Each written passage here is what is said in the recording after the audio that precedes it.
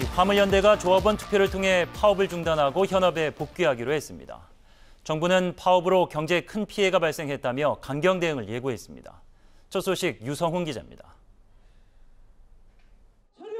화물연대는 오늘 오전 9시부터 파업 철회를 두고 총투표를 진행했습니다.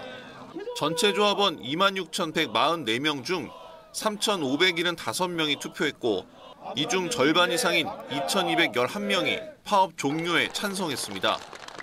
파업 16일째 되는 날 총파업을 중단하기로 한 겁니다. 화물연대는 각 지역본부별로 해단식을 진행하고 현장에 복귀합니다. 화물연대는 어제 6시간 넘는 회의 끝에 조합원 피해를 최소화하기 위해 총투표라는 결정을 내린 겁니다. 어쨌든 핵심 조합원들의 그 의사를 통해서 저희가 총파업을 조합원들의 의사를 물어서 들어간 거기 때문에 의사를 물어서 총파업을 종료한다는 좀 의미가 있을 것 같고요.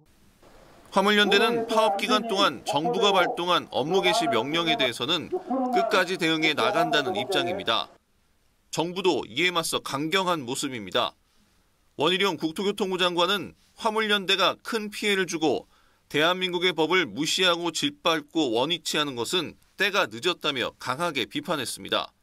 단순 연장으로 나머지 문제를 덮는 것은 문제의 해결이 아니라 문제의 악화라고 보기 때문에 그 점에 대해서는 우리 정부로서는 어, 그런 어, 그런 어, 그런 것을 용인할 생각은 없습니다.